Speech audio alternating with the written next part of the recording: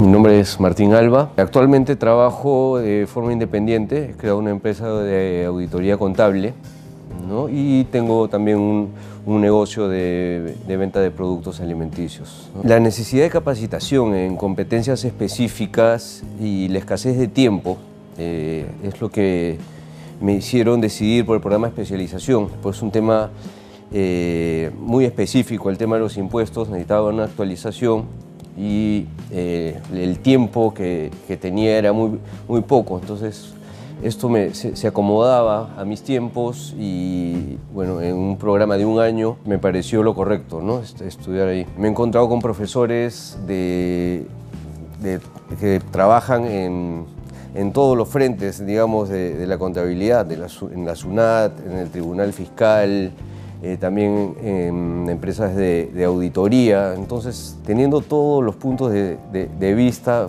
de una manera integral y de forma práctica me, están haciendo un poco poder desarrollarme mejor eh, profesionalmente y llevar de mejor forma la empresa que tengo ahorita.